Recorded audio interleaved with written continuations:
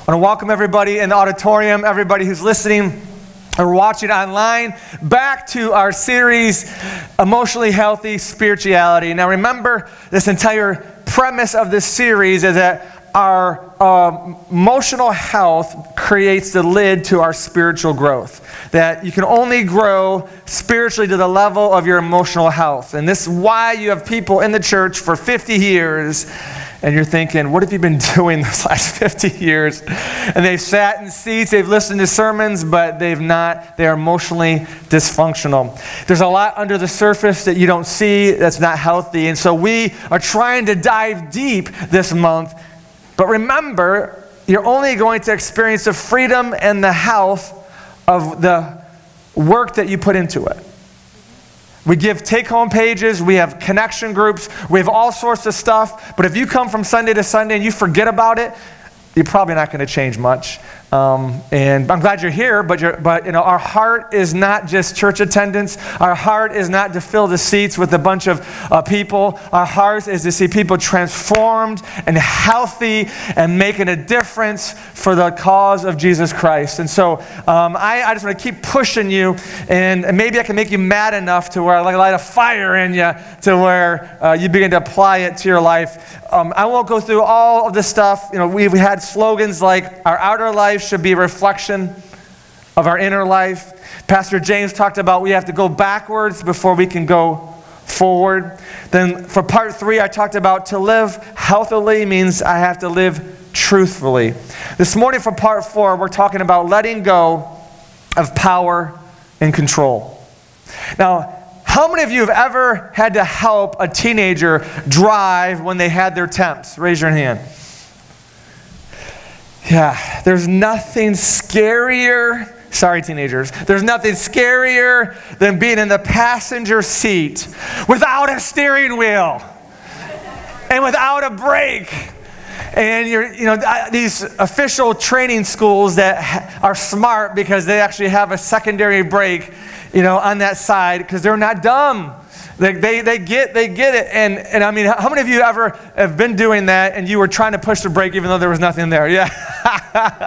You're like, stop. Oh, I remember uh, when we lived out in, in, South Lyon, Northville area, one of our neighbors, it was a, a single parent home, and the mom didn't drive, and so the, the, the poor kid had no chance whatsoever. And so I, I agreed to uh, let him take my car, and I was with them. And, and we were driving on Eight Mile Road headed towards Beck, and there was about a five mile stretch where there was no you don't stop, you just go.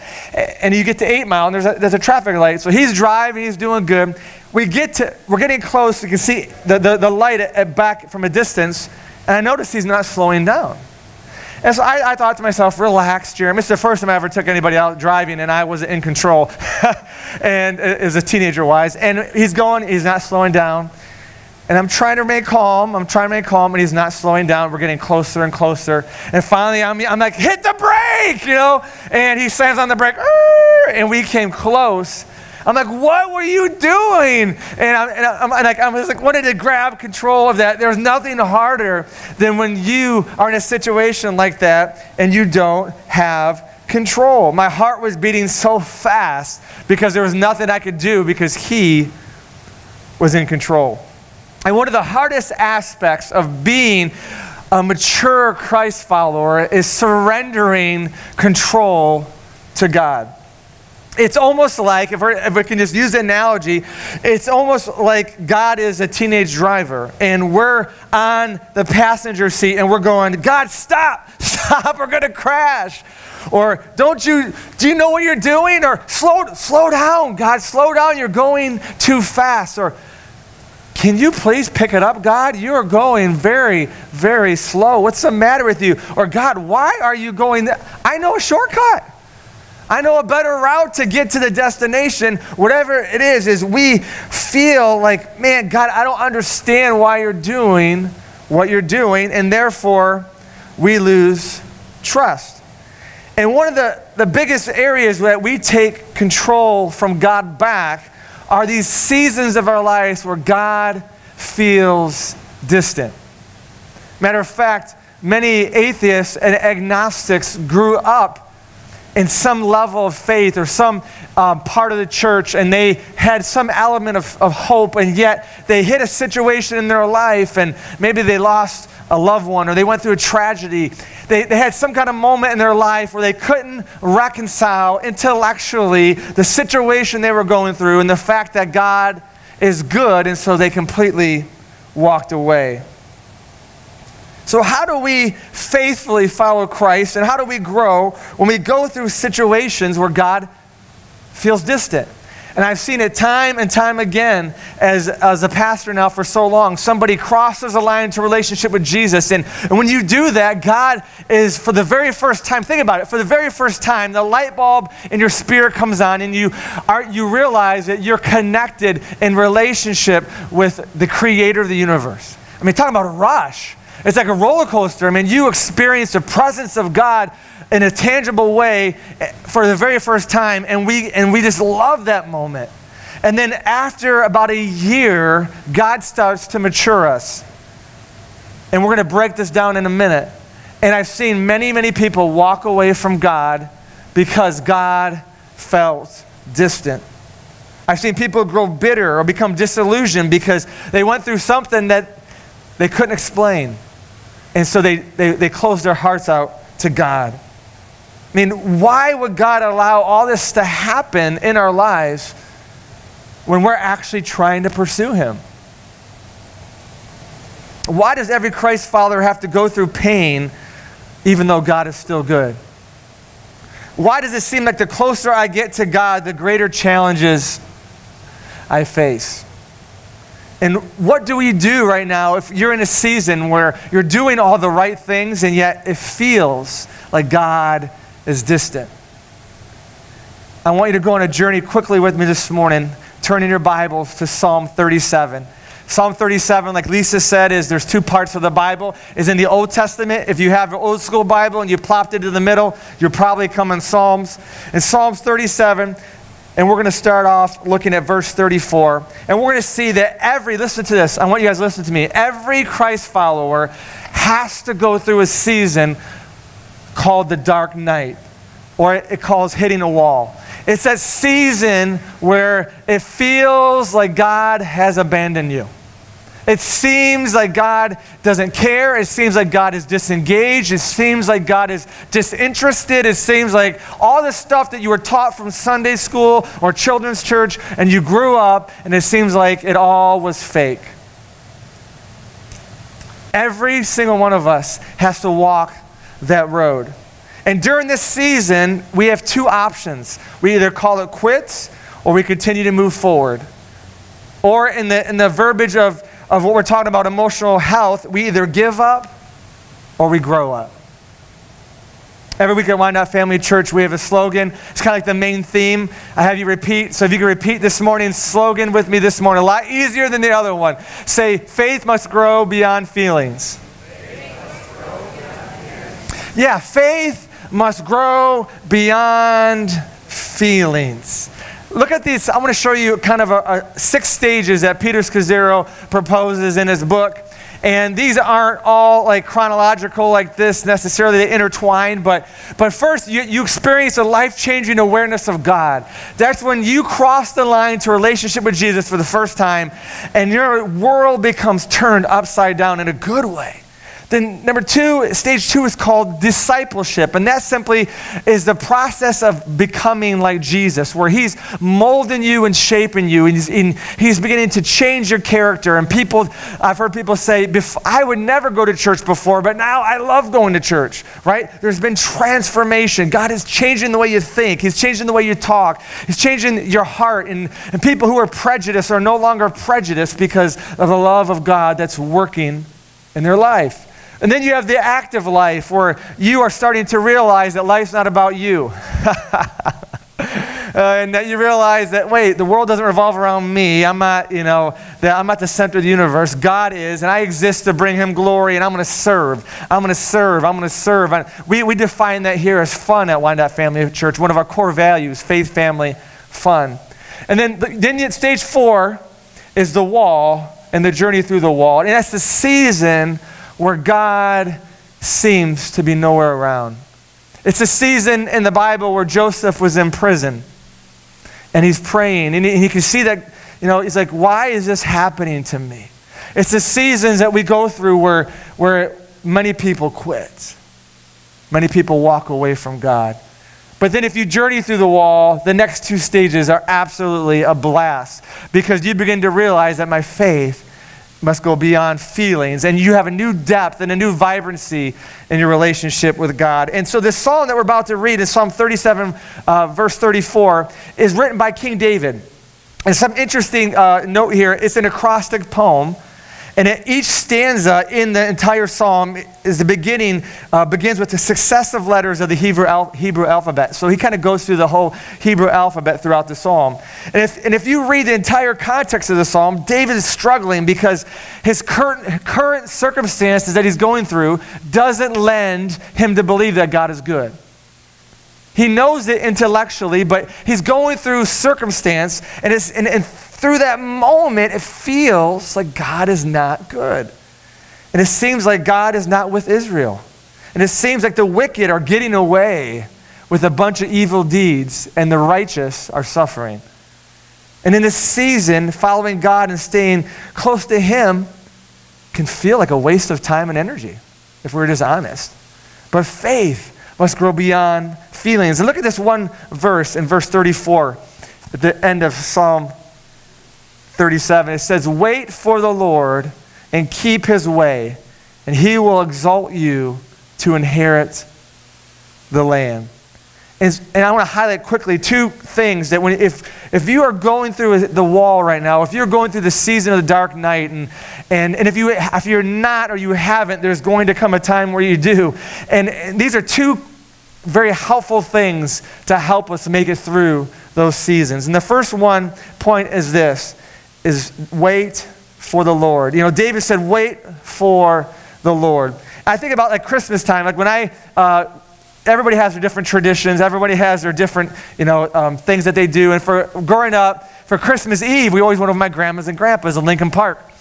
And I was always at the kids' table. I never made it to the adult table.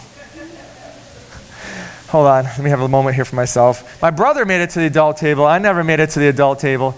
And, uh, and so we always finished eating first. And, and as soon as we were done eating, we went to the living room where my grandma had the tree just packed with presents all around it for me and my brother and my cousins.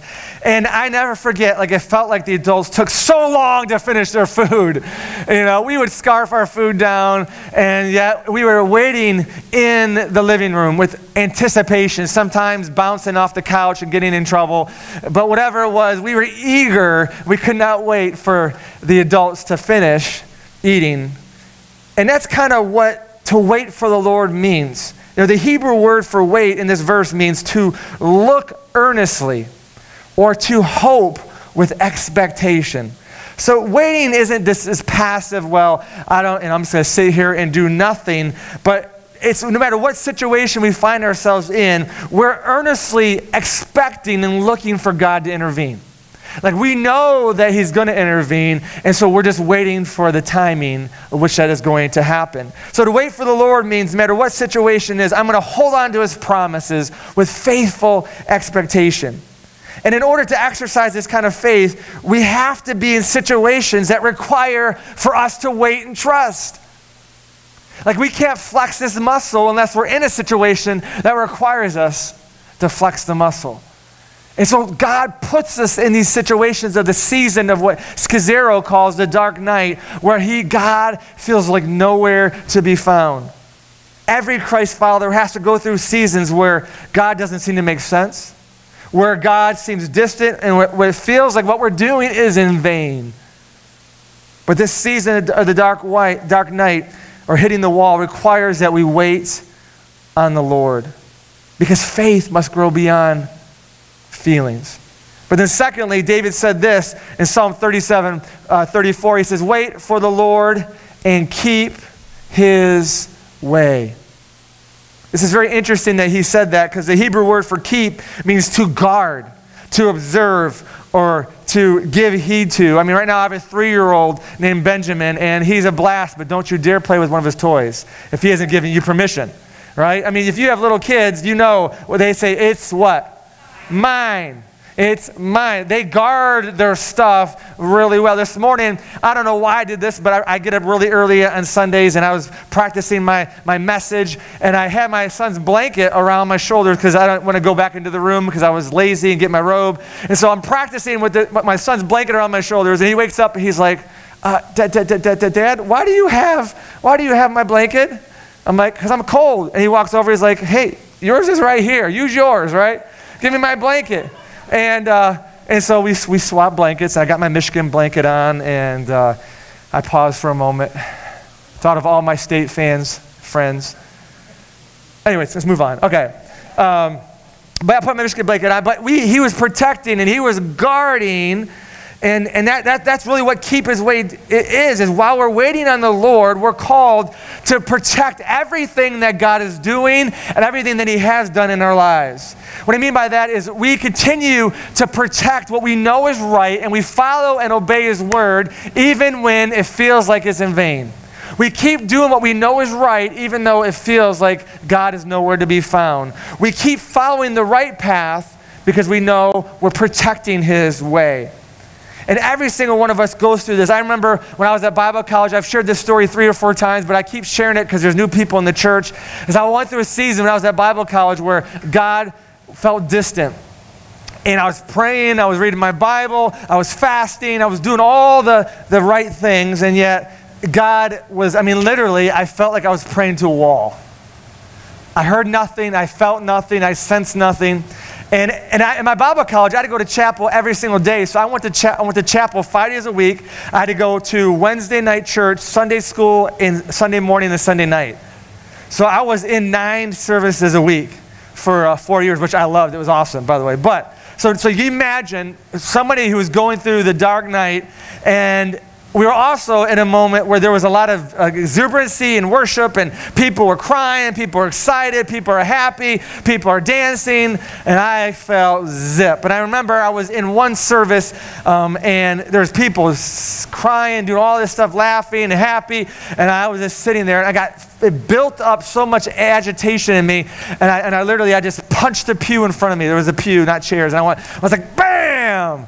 Now, obviously, if you know me, that's not characteristic of me. I don't just punch chairs or pews. And, uh, and, and I did that, and my friends just stopped. Could you imagine if you saw that in your, in, your, in your aisle during worship when Michael's on the stage? What would you do, right? You look over thinking, what's wrong with that person? And my friend came over and said, Jeremy, what, are you okay? And I remember saying, no, I'm not. Well, obviously I wasn't. And he said, what's the matter? And so I began to, you know, pour out my heart to him and tell him that God felt a million miles away and it didn't seem fair that everybody else was all happy, everybody else was all experiencing God's presence, everyone else was all being touched by God, you know, in miraculous ways, and God was not listening to me. You know, Peter Scazzero says, as critically important as it is to pay attention to our feelings in order to know God, we talked about that. The dark night protects us from worshiping them. Our feelings are important and we have to process them and we have to identify those. The last three messages were about those. But going through this season keeps us from worshiping our feelings. That, that when we go through seasons where God feels distant and we can't understand what He's doing or why He allows situations in our life, the psalmist says to wait for the Lord and keep His way. We keep His way. We actively wait on God while we keep His way. And the one scary thing I've seen over and over again the past eight years here in Wyandotte is people hit this season of their lives and they start to pull away from the church family. I've seen it time and time away. Uh, uh, it's just natural. Like the devil wants to isolate us always. And so when we go through seasons where it feels like our prayers aren't being answered, like God isn't listening, we don't feel any, any tingles during worship, nothing's going right, and, it, and it, everything inside of us wants to pull away because God's not there. So we think. This is why David says, keep his way. Don't change what you're doing. Don't stop doing the right things. Don't stop, you know, reading your Bible and praying. Don't stop being faithful in church. Keep being connected to the body of Christ because I'm telling you, if you're not involved in a connection group during this season, you probably most likely will pull away. And it's just natural. But we need the faith of others sometimes to, to help us. Because you know what my friend did when I punched that thing and I told him what was going on? He he took me down front after the, the, you know, the prayer time and the, and the altar time, and he says, we're going to get you prayed for. And he took me to a guy, to, and, he, and he had this guy pray for me, this one pastor. And then he looked at me, he said, do you feel any different, Jeremy? And I said, no. And he said, okay. He took me down to the other side of the altar and he found another guy. He says, Hey, will you pray for my friend? You know, and, and that guy prayed for me and, uh, he looked, and, it, and nothing happened. And then the pastor walked away about five steps and he stopped. He looked back at me, and I believe it was prophetic word, and he says, In the name of Jesus, let the dam be broken and let the flood of Christ flow through, whatever he said. And when he hit that, the power of God hit me, and I literally flew to the ground and fell to the ground. And God began to just pour life and healing and, and restoration into my soul. And, but that wouldn't have happened without, without a friend somebody linking arms with me. And so I'm, I'm telling you, uh, we all go through those seasons, and you need to be connected, or you're going to isolate yourself from the body of Christ, and that only intensifies the struggle and the pain. You know, it's, it's kind of it's kind of like this as we prepare to close. And Jessica, if you can come back up this morning. I'm going to do a quick little object lesson here for you is let's just pretend this morning I know this is kind of a, a, a silly object lesson, but pretend with me that this represents Christ. And Christ, we know, like through communion we just took this morning, had to go through the dark night. When he was there at the Garden of Gethsemane and he was sweating blood and he was praying, he says, Let this cup pass from me, but not my will, but your will be done. There was a lot of pressure and a lot of weight that was going on Christ. And there was a, um, a lot of, of heaviness, and he was just feeling a lot of junk. Right? But, here, but here's this amazing reality is that Christ goes through a lot of pain, but he bears the weight. He holds the weight. He didn't cave. He didn't quit. He didn't give up. He didn't turn his back on, on us. He said, No, I'm going to fulfill the mission that God has given me. I'm going to go to the cross. And then we have us. And this represents us. And we kind of try to take the place of God. And we say, ah, I understand what you're saying, Jeremy, but you know, I, am going to handle this. And, and we try to bear the weight of the world on our own shoulders, and this is what happens. Right? This doesn't work, does it? I mean, just try it again. Let, let's just see if I hold it this way. And many of us are just getting crushed month after month, week after week, and we get back up and we try harder and we try to but we keep getting smashed. But here's the thing when we're going through the, the trials and the heaviness of life, do you know what Jesus did in the Garden of Gethsemane? Who was he spending time with at the most painful moment of his life? His father. He was crying out to his father. He drew close. And so here's a piece of paper right here, right? And when we have a choice, when we're going through the dark night, we can pull away or we can wrap around. And if we will wrap around our Jesus, if we will wrap around Him, then all of a sudden we get a strength to make it through the dark night. Because there always is an end.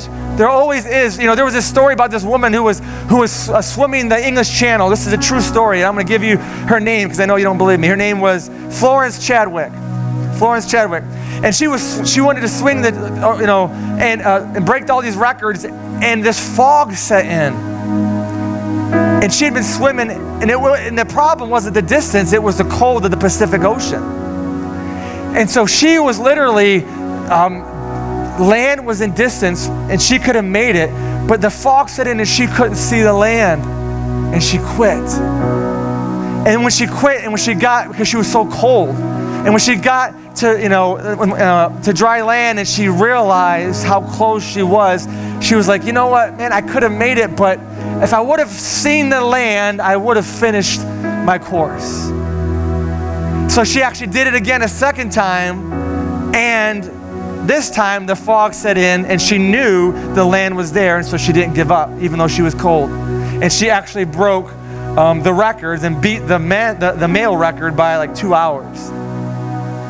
So here, here's the application is we go through the dark night and God feels distant. It feels like He's not there, and so we want to quit. But if we know there's land, we know the that we know that Jesus is who He says He is, and He does what He says He will do every single time. So even though we can't see Him, even though we can't touch Him, even though we can't feel Him, we wrap around Him. And here's what happens when you wrap around your Heavenly Father, when you wrap around God and you draw close to Him instead of getting away from Him, all of a sudden it begins to change for us.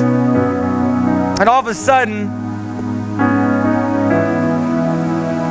the same weight that used to crush us now is nothing. Why? It's the same paper. What's the difference? The difference it was wrapped around something greater. And you and I are going to go through the dark night, and you and I are going to face pressure. The only way that we're going to make it is if we wrap around Jesus, if we cling to Him, if we don't give up, if we know and keep the end in sight that He is faithful to His promises. And so I want to challenge you, uh, because of time, I'm not going to go through um, the signs of how do you know if you've made it through the, the, the, the wall. I want to encourage you, um, you'll get that on your take home page on the way out. There's four signs of how do you know when you finally made it through the wall. Um, what, so make sure you get that. Be a part of a connection group to, to, to discuss that more. But you and I are going to face these moments in our lives. We're going to go through these, these situations, but it says, wait for the Lord and keep his way, and he will exalt you to inherit the land. You know, the worship team's going to come now and, and sing a song as we close. And I just want to encourage you to let this song just kind of settle in. Let the lyrics minister to your heart. And I pray that you, your faith will be encouraged this morning, that our faith must move beyond feelings. That is the maturation process. That's how you get to emotionally healthy spirituality. You know, there's Sundays I come here and I preach and I feel nothing. I see people come up to me, that was awesome. Thank you for sharing that message. Or worship was awesome. Thank you for that, you know, having them play that song. And I'm like, yeah, I'm glad it was awesome because I felt nothing. But my faith is not based upon my feelings. It's based upon being wrapped around Jesus Christ. He is who he says he is, and he will do what he says he will do.